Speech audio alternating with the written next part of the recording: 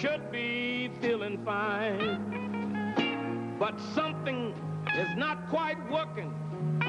And it's messing up your mind. I know it. Ain't it, Butch?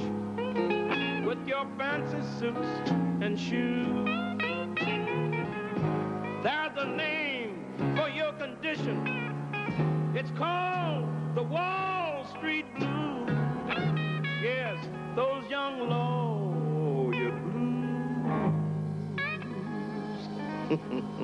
Blues.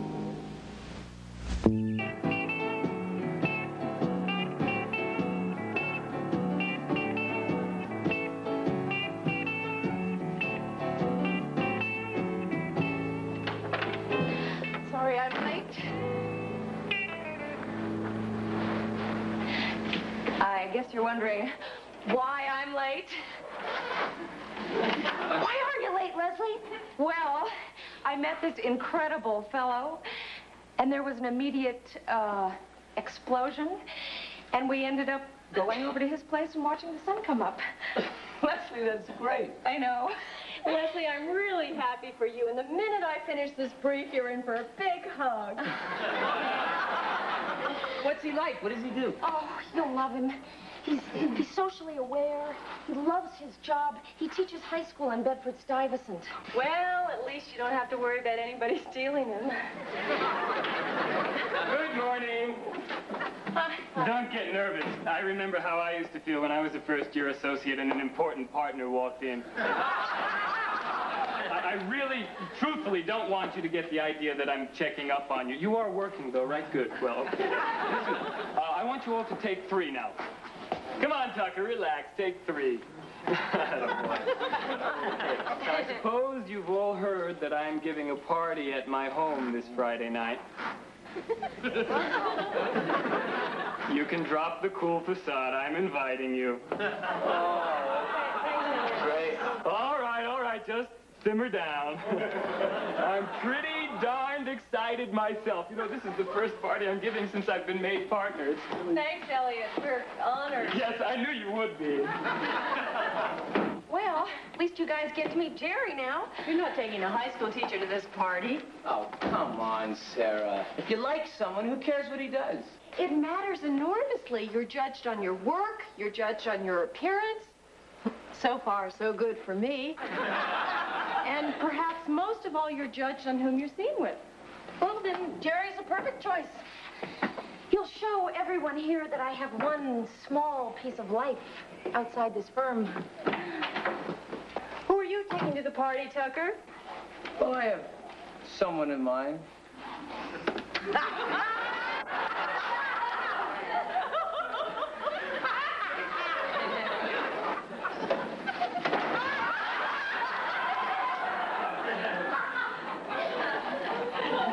Sarah? Would you like to go to the party with me?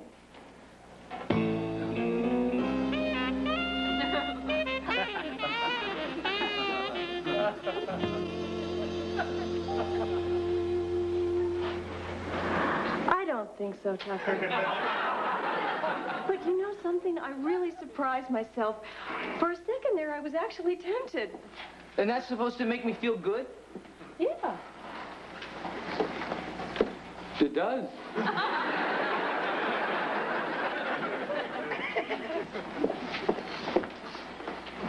Uh, Mr. Marshall? Yes, Elliot. Um, excuse me, sir, but I- am having a small gathering at my home this Friday night, and, well, I was wondering if you would do me the honor of attending, sir. Oh, it's very kind of you, but I thought I'd have a lazy weekend and not honor anybody. Oh. Sir, uh, this, this won't be one of those high-pressure parties. I, I promise you there won't be any really important people attending. That's your selling point? A party for nobodies? Oh. may I put it another way? I would. Um, sir, all of the associates will be there, and your presence would be an inspiration. That's very nice. So I know you've been to many parties in your oh, day, sir, but yes. if you could... Long time ago, though, many, many parties. Haven't I ever told you about them? I, I don't know. Well, I can't think of I was there on that famous occasion where Eleanor Roosevelt hula hooped. Eleanor Roosevelt. Knew who? Created a stir. But you know, I think the greatest evening of them all was one evening when uh, little fella, begin the beguine, Cole Porter. he was, um, he sat at the piano and Lena Horne, the great Lena Horne, sang a love song to me. She was standing even closer to me than you are now. Lena Horne, yeah. And when I went to say goodnight to her, she looked at me and she said, good bones. I think it was a compliment.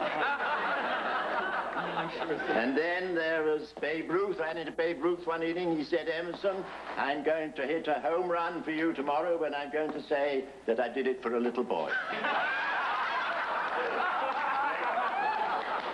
great memories, great parties. Do you think your party will, uh, will be anything like that? Oh, no, sir, it couldn't possibly. No. But there'll be plenty of good gin. Oh, yes, sir. I'll be there.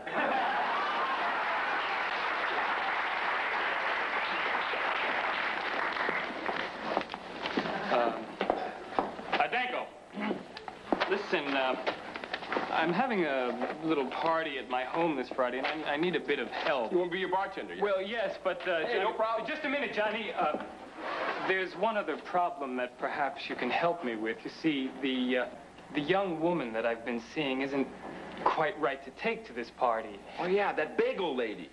She's baking bagels to work her way through Juilliard.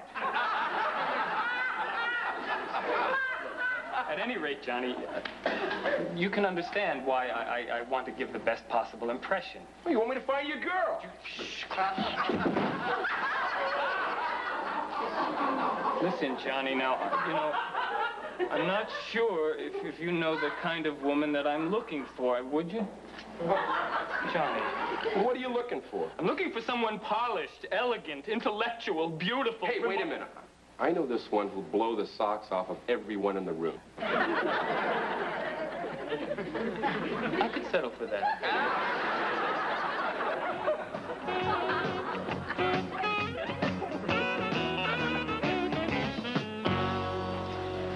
Mm, this is delicious. My mother's recipe. Oh, it was nice of her to give it to you. Nicer for her to come over and cook it. she heard you were coming. She insisted. Oh, that's sweet. Well, I'll take more. Called you last night. No answer. I don't mean to pry. Yeah. All right. I work late at the office. You worked at 2 a.m.? 4 a.m. It's an old habit. College, when I couldn't sleep, I'd get up and study. Now I work. Nothing ever changes, I guess, except when I studied, nobody was billed $75 an hour. Speaking of rip-offs, uh, uh, there's this renters rally Friday night. Uh, my parents' apartment's being turned into a co-op. They're throwing everybody out. We're gonna fight them. I could use a good attorney. what about the party? You said you'd come. The rally's 7.30. I'll finish there, then hit the party. It should be fun for me. Seeing exploiters in their natural habitat. like visiting some rich people's zoo. Uh, maybe you'd better not come to this party, Jerry. Why not? Because you have a big mouth. I have a big mouth? Are you crazy? Big mouth! Who's she calling? Big mouth! You can stop being delightfully uninhibited for just a minute and listen to what I'm trying to say. Look, you have very different ideas on things. You look down on the people I work with, and you also like to argue. Yeah, so? This is the first party I've been invited to at the firm. And whether you approve or not, it's important to me what these people think of me. What do you care what those... I said it's important to me, okay? Look, I'm new there, Jerry. Everything I do, they're watching me, grading me, judging me. I'm just kind of hoping you watch what you say You're asking me to watch what I say? and how you behave and to wear the gray suit. And you think you might get a haircut? Hmm. Ah, come on. I'm just really scared about this party. I promise you'll be proud of me. I'll do everything I can to be an arrogant, avaricious, class-conscious reactionary. I'll be the envy of every woman at the party. David Essex is on the fast track to fame. Danko, will you get it? Sure thing, Mr. Benny. Come on in. Hi. Hey, this is interesting. I didn't know you two were getting it on. We just happened to have gotten here at the same time. My date's coming later. I'm here alone. Hey, well, listen, I'll cover for you, okay? If anybody asks, I'll tell them your date's in the John throwing up. I hate being the first ones at a party. I should have walked around the block three times. It wouldn't have helped. I did that. Tucker, can I ask you to do me a favor? Uh-huh. Jerry's gonna feel really out of place here. Do you think you could try to make him feel more comfortable? Sure. Oh, thank you. I can't tell you how important this is to me. Well, look, don't worry, okay? If things get really, really bad, I'll do my Judy Garland impression. You do a Judy Garland impression? Well, to do it right, I need 300 munchkins and a shriveled witch. Oh, hello. Good to see. you. Oh, it's you. Danko, I'm nervous. What are you nervous about? Because hundreds of things could go wrong. Uh, people could have a bad time, and I'm responsible. Now, if, if this party dies, they could not like me. Hey, don't sweat it, huh? Oh, thanks, Johnny. You know, somehow I, I, I find it easy opening up to you. I, I, I guess it's because your opinion of me doesn't matter.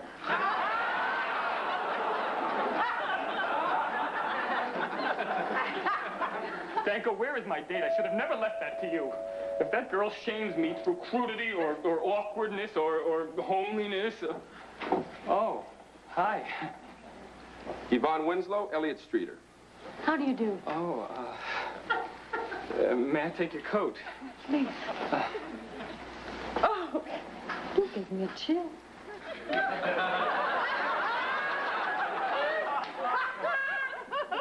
Tucker, Leslie, I'd like you to meet my fiance.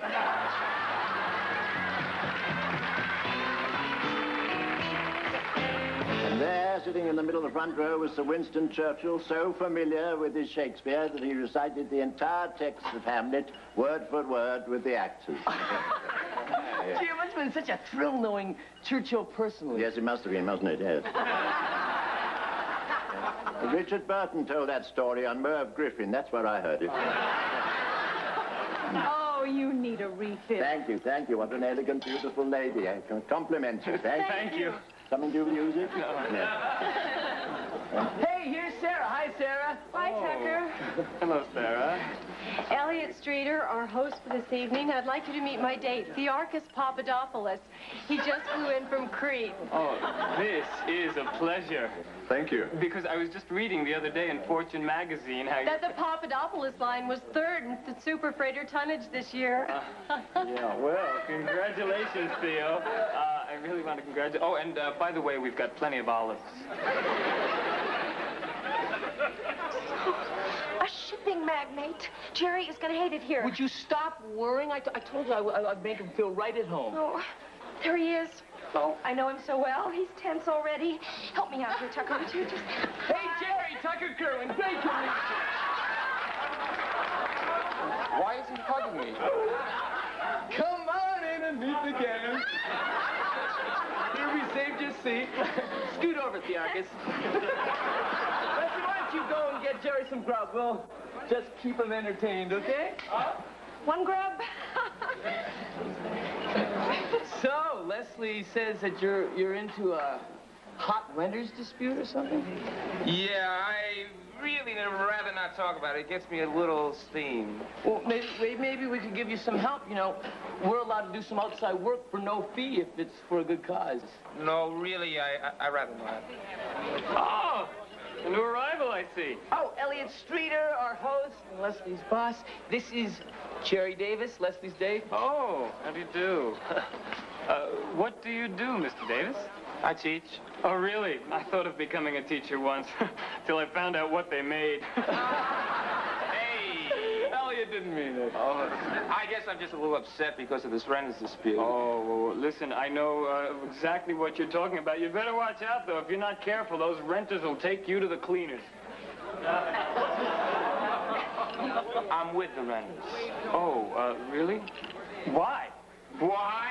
Hey, how about those gets? Out of the blue, owners are turning apartments into co-ops. People were thrown into the streets Oh, helpless. Well, I'm sure that happens sometimes. But what about the owner's side? Now, I know it's not popular to consider them, but I've seen what they have to go through. People just skipping out on their rent, Disgustingly filthy ovens, drains packed with hair. I can't believe this guy. I'm saying my parents have nowhere to live, and you're talking about filthy ovens and hairy drains? I have to say that your parents' plight is really not the owner's responsibility. Well, it should be, you son of a...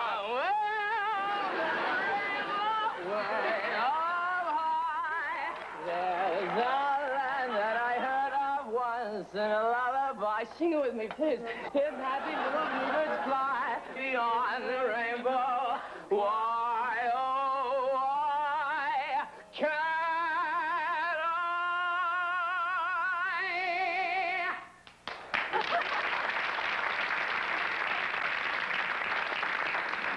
That's Judy Garland. You know what this cretin just said? Oh, You're talking about my island? No, I can explain it to you later. Tenants are not numbers and ledgers. They're people. And what are apartment owners? Duck pate? No, vultures. Vultures. Now look here. Now you look here. Gentlemen, Who is this guy? Because I haven't really finished tell with... him who this guy is. Yes, sir. Mr. Marshall, founder and owner of the firm that employs me, Jerry Davis. Jerry Davis, how'd you do? I couldn't help uh, overhearing your conversation. You've got guts, my boy. You've got spirit. I think you're perfectly right in what you say. Thank you. Absolutely right. Uh, I was just playing the devil's advocate. Now, with this problem, this problem, I think if the city were to give alternative um, accommodation to all your tenants. What's that mean? You said, what's that mean? Don't you talk to me like that. If I were a younger man, I'd get someone to throw you out.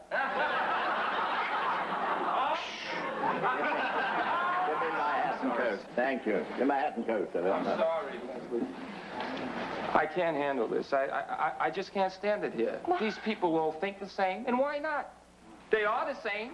What are you? I'm a lawyer. What are you? I'm a lawyer. What are you? I'm a lawyer. What are you? I'm a prostitute.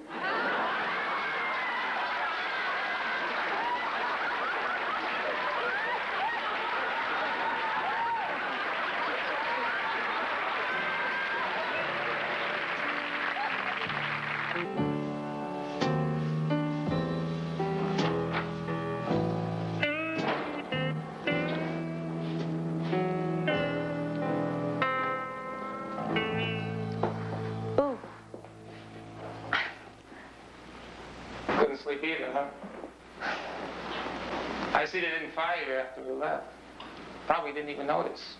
Too tied up with the guy who bought the hooker. yeah, it did take us out of the spotlight. This is some place. I've never seen such a fancy. I mean, that lobby. Sell that lobby, you could feed the world. Hey, it's not my lobby. I just work here. If it was, I'd sell it. I'd feed the world. What are you doing here, Jerry? Thought you wanted to be alone. I thought we left things unresolved. Oh, I don't know. See around sometime, maybe, is a uh, form of resolution. You want to keep seeing each other? Let me, let me think about that.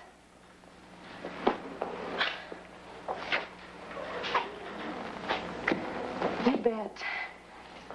How about you? Yeah. I thought we were beginning to enter that delicate stage where I could ask you to make pillows for my apartment. Well, then what's the problem? I make great pillows. The problem is this place and what it represents. It makes me crazy. So what do you want me to do? Give it all up? Okay, sure. Why not? I mean, it's only been seven years of schooling, and you seem like a fun guy.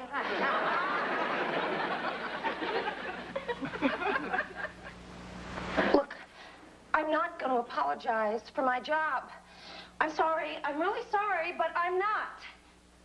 And if you can't live with that, then make your own damn pillows.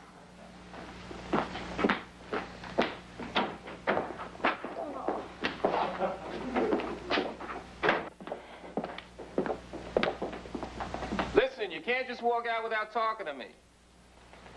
Why? I don't know where the elevators are. Oh, yeah.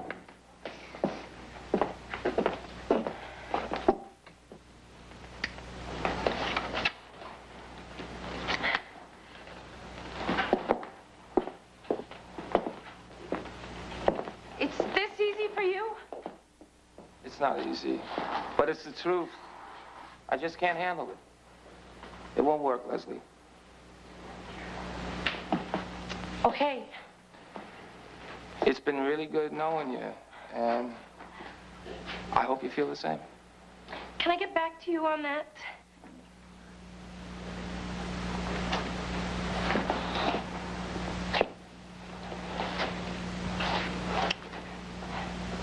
Take care of yourself.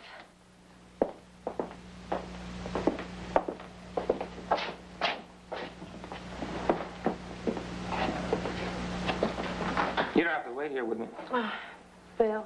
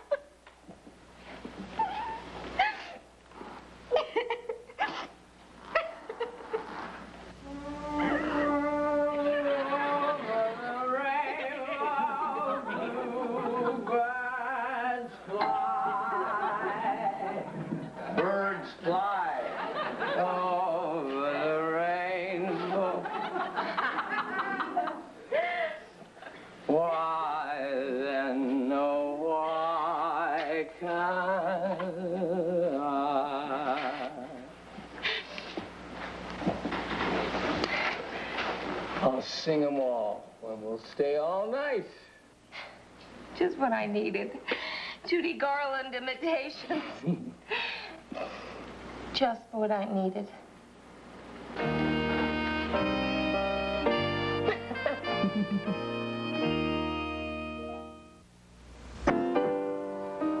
Somewhere over the rainbow, bluebirds. Coming up, the chase team sets out to scuttle a racetrack scam, and Christy Love encounters a killer believed long dead. The heat is on when USA's crime busters hit the streets. Next.